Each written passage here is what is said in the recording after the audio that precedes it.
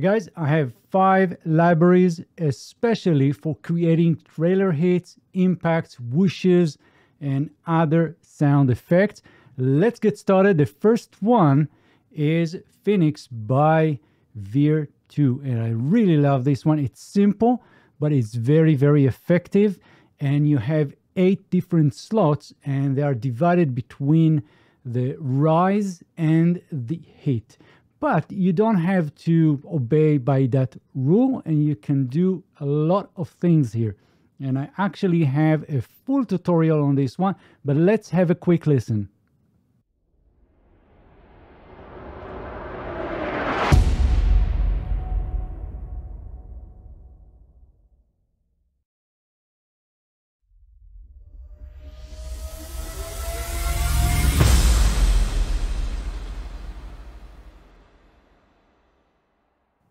So what we have here for these uh, different slots is a selection if it's a rise and hit, as you can see on the top one, or we can use this uh, as a combined whoosh. So for example, I can go for the bottom one. I'll just go with a whoosh. I'm going to turn it on because it's actually turned off. And now we can we can just have a listen to that one. And we have color coded key switches. So I can just use that to create uh, the whoosh and let's have a listen.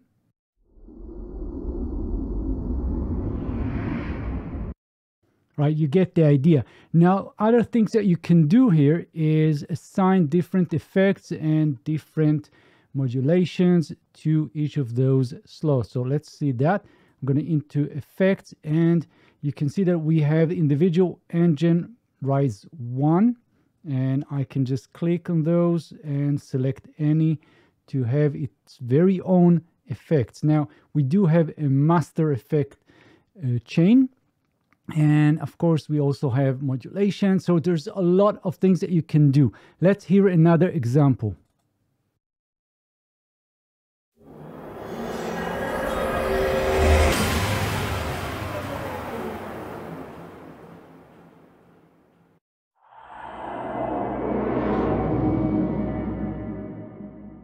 Other things that you can do in this library is, by the way, drag and drop, import your own samples, and you can also adjust the length, the time it takes for the whole scene to work. And right now it's four bits. We can change it to, let's say, eight, and it will adjust the samples, but you can work in seconds.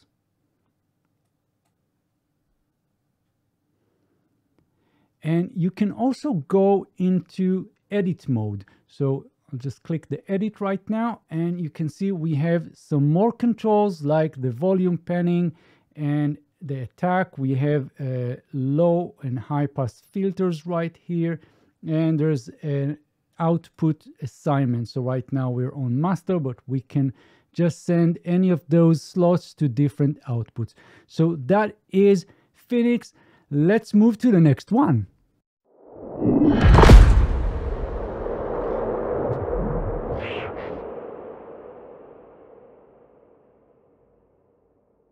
So this is Devastator Pro. And well, we don't have enough time to cover everything. And there's so many things here. So this is the sort of builder. And if you just click this drop down, you'll see that we have a lot of categories. For example, right now we're on trailer hits, but I can go with benders and cinematic benders. Let, let's do that.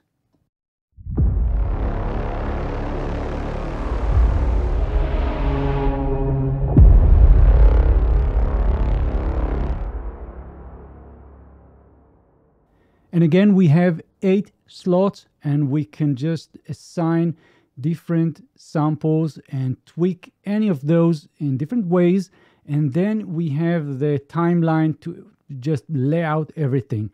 But there are other types of uh, instruments included in this library, not only this builder. But let me give you another example, and I really hope you're listening to this uh, in your studio where you can actually have the all the subs and all the low end and not through your phone, right? So let's see, let's go with signatures.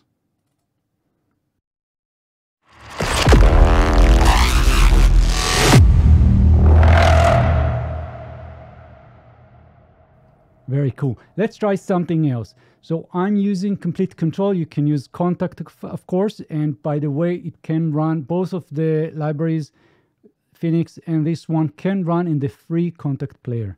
So I'm to go and show you some stuff. So we have rhythm pulses, for example. So this will bring in a whole different type of instrument with, with a sequencer.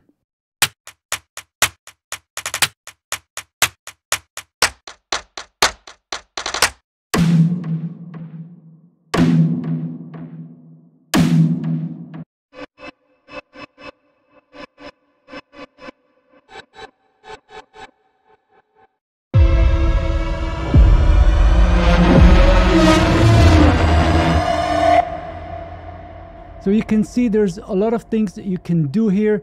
And if we go into the tuning, you'll have tuning for each of those. And we have filters, we have just adjusting the scenes, and there are some automations that you can uh, tweak and change. And if you just go inside here, there are quick loads and templates to choose from, and you can save your own, of course. And so with that, let's move to the next one, which is going to be Rise and Hit by Native Instruments, and old but very uh, well established. So here we have the same idea as with Phoenix. We have different slots and we have wishes or hits, and you can just see that they're splitting or maybe just continuous samples. And again, let's have a quick listen.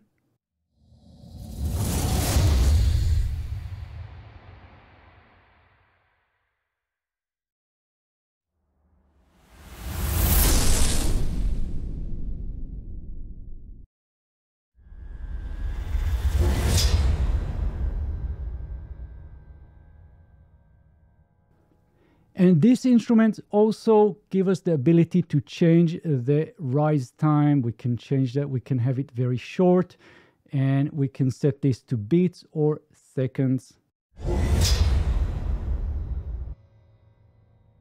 And of course, for each of those slots, we can change the underlying sample very easy.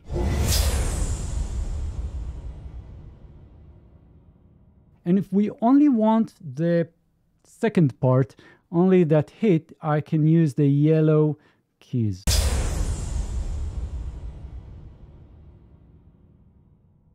So next I have two libraries from UVI, which I really love. Let me show you the first one, Whoosh.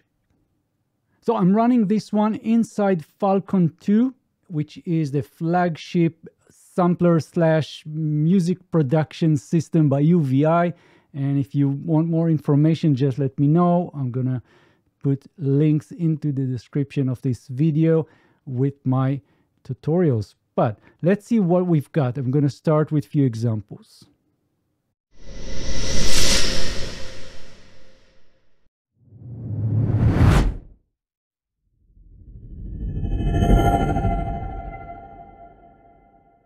So Whoosh, as its name suggests, is basically a whoosh creator and we have three different layers and we can just go and draw different well motions on top. Right now i'm on the noise section. I have texture one and i can change that. And there's the duration there's movement we have filters and we have other effects. So let's try some more and i'm to go with a, a pass by So you can hear how we're going from left to right. And you can see that also here in the movement, we can see the pass by going from left to the right, and we can change that. So if you're looking for some effects related to whooshes or flybys, this is great. So the last one also by UVI, this is Meteor. Let's see what's inside.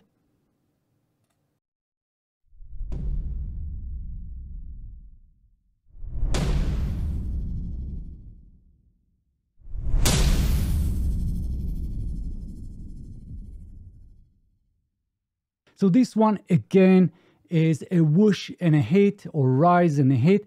Let's see some more examples. So in the categories, you can see we have meteor and highlights. We have slams, booms, cinematic, orchestra, and so on. So many categories, so many samples and presets. So let's try these booms.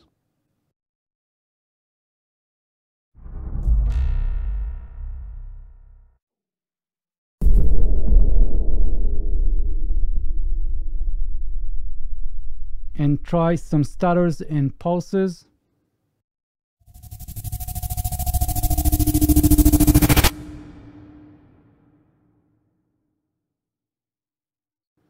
Combat.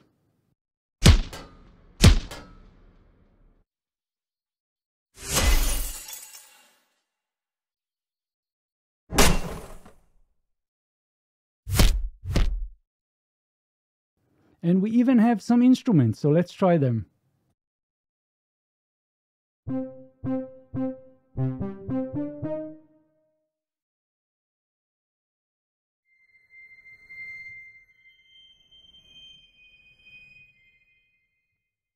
And let's see some more. We have destruction, for example.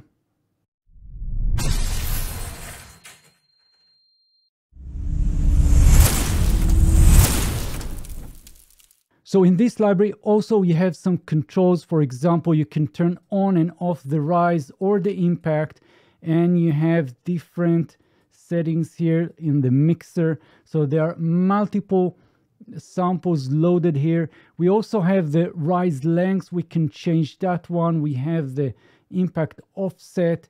And if we go into settings, there are so many things that you can do here. So this is pretty much it. I hope you enjoyed this one. Let me know in the comments which one you liked most and let me know if you have any questions and I'll try and give you an answer as quickly as I can.